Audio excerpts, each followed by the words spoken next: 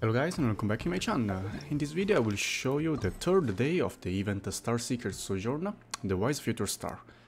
This one, um, today's one is basically at the Apam Woods and um, is at this location, basically where the icon is.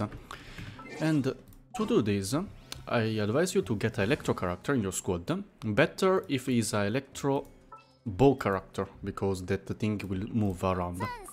You can get Fischl since Fischl is uh, yeah, the most common here. Now just uh, teleport uh, to this teleport waypoint or this uh, statue 7 and go to this location. Basically downside there you will see um, platform which initially is not there. When you get close enough you will trigger a dialogue with Paimon. And Paimon will see, ah, this is pretty like uh, we already saw it uh, before somewhere, etc, etc. Yeah, you, you just have to come here. Then you have to trigger, another trigger, you have to light up the four torches. So beside the electro character, you will also need the pyro character. So, Amber, where she is, here. I don't know if I can light up during the...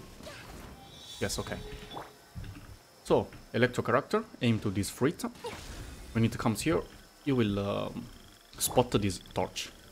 Just the bow character, light up. The other two will be the other. One is near to the Dendro...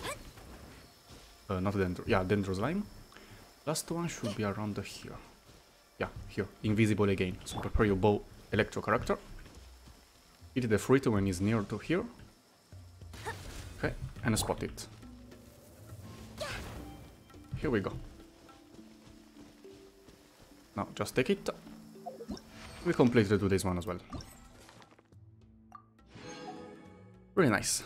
Pretty simple. For who already explored um, Sumeru forest, you should already know how this fruit, uh, I mean, this, this plant works.